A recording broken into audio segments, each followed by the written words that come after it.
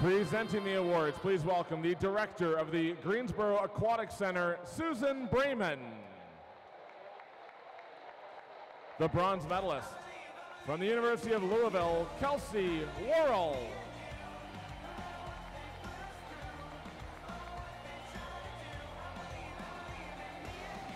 Silver medalist from UCLA Swimming, Linnea Mack.